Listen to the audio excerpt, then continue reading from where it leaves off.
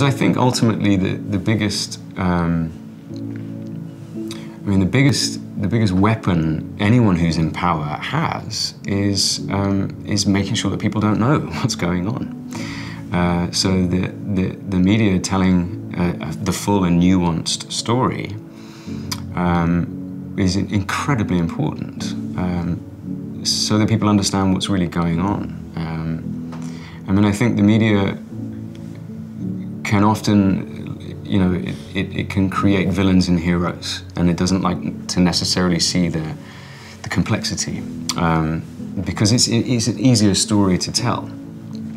Um, and I do, I, I, uh, I do recognize that that, that, is, that, that doesn't help. Um, because I think villainizing anyone is, um, you know, is, de is detrimental in every field and every day in everything that they do.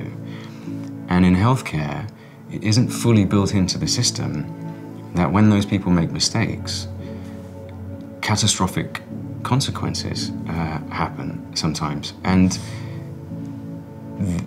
we need to have a more nuanced understanding of how to deal with that so that they don't feel that they have to hide their mistakes because nothing bad is going to happen to them.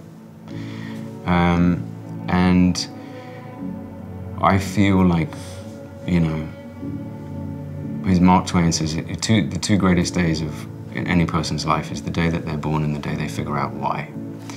And I think Benjamin's Benjamin's life was five days long, but he definitely had one of those days where we all feel like why he came along.